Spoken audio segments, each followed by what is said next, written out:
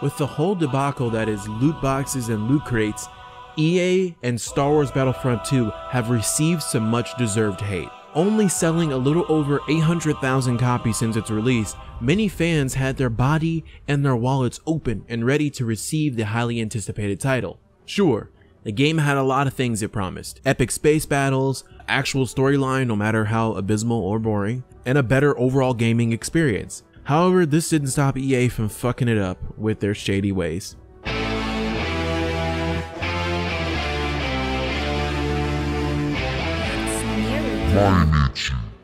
What's up guys, it's Neriku back at it again for yet another video.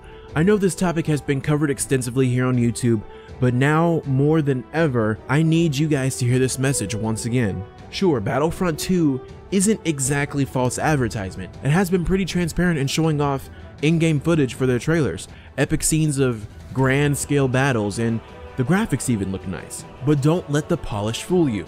The game is based around a loot box progression system, meaning if you want to level up in the multiplayer and have better unlocks, then you better get to endlessly grinding, or better yet, just pay for what you want.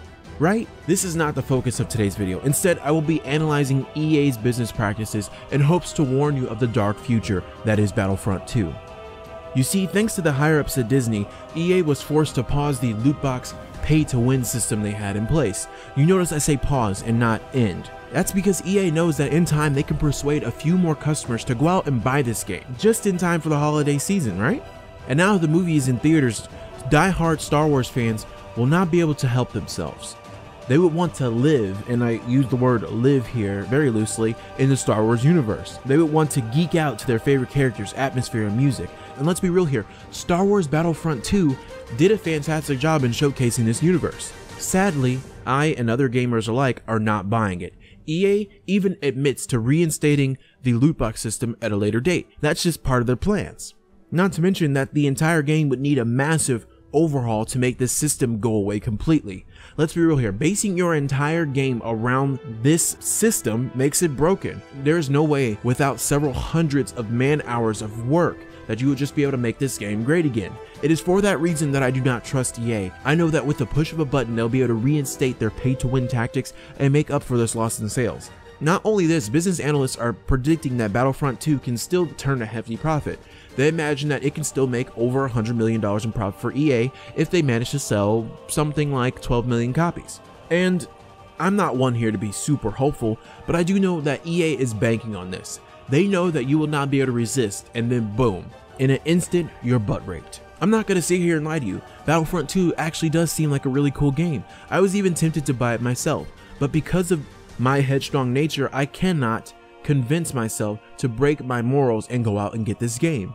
EA is not a trustworthy company. Sure, they've made some decent moves in the past by doing things like Origin Access or EA Access to get consumers to try out some of their older games, and I think that that was a move in the right direction, but they like to only do one thing, and that's make more money.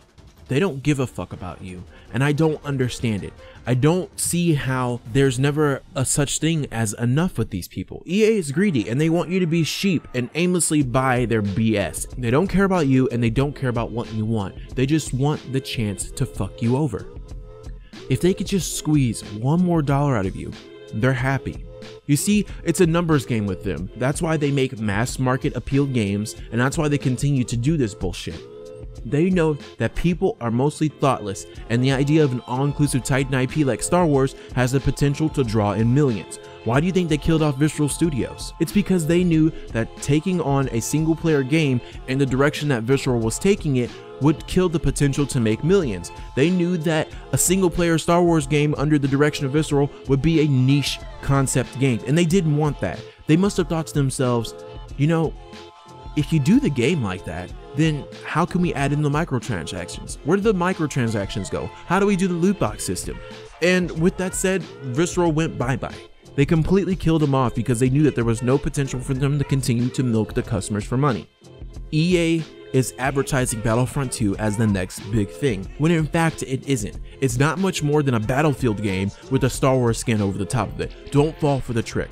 Be patient. Vote with your wallet. EA needs to understand that practices like this is killing the gaming industry as a whole. It's making gaming so corporatized and so redundant, so boring that they keep recycling these titles, keep on trying to convince people to buy into this garbage, and it's really destroying gaming for me. I hope it's destroying gaming for you too so you can wake up and understand the gravity of this situation. We've already lost net neutrality. Maybe it, it won't completely pass, but as of right now, net neutrality is gone. We're gonna let EA fuck us too. We're tired of the bullshit and we need to make a stand right now. So when you guys go out and watch the new Star Wars movie, take it for what it is, watch the movie, enjoy the movie, that's fine. But don't be like, oh, you know what would be great to compliment this movie? A chance for me to go and play Battlefront 2. Don't do it. Don't do it. It's not worth it. It's not worth it. We cannot forgive EA for trying this in the first place. They're going to take this opportunity to say, okay, well, you know, if we ever do this again in the future, we can just, um, you know, take out the loot crate system and then, you know, people will forgive us and they'll still buy the game. Fucking idiots. That's what they're going to think. That's what they're gonna think. We're, we're just literally congratulating them for fucking us and saying, you know, it's okay, EA. It's okay. You're fine. You can keep doing this crap. And we'll just let you do it. Alright guys, that's enough for me. Remember to like this video if you did and subscribe if you're new. With that said, I'm Neriku and I will see each and every one of you weird AF Bofros in the next video. Peace.